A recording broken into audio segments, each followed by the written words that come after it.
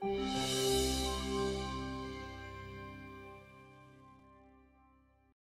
I'm Janet Bucknall, the Deputy Administrator of the Wildlife Services Program within the United States Department of Agriculture, and we're recognizing World Rabies Day. It may come as a surprise, but rabies continues to pose important public and animal health threats around the world. Globally, more than 59,000 people die from rabies every year, including many children. The purpose of World Rabies Day is to increase awareness of the disease and also about the prevention and control strategies that we have in place to protect people as well as pets and livestock.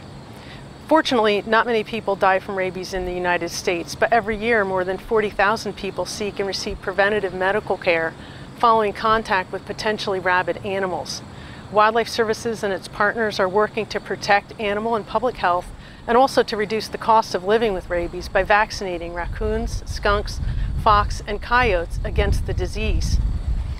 The work is primarily centered in the eastern United States, but also in Texas. And during August through October and also in January, Wildlife Services and its partners distributes more than 10 million baits containing the vaccine in 17 states.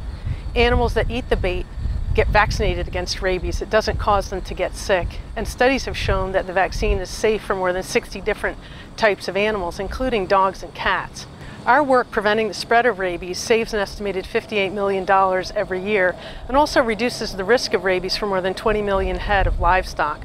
But ultimately, we want to eliminate rabies altogether, not just prevent its spread. We've been working with our partners to slowly push rabies back towards the Atlantic Ocean. This work benefits everyone in the United States and has only been possible through partnership and collaboration.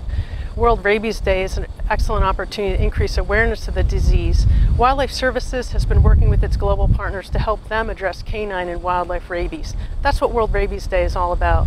Thank you for taking the time to learn a little bit more about rabies and its prevention and control.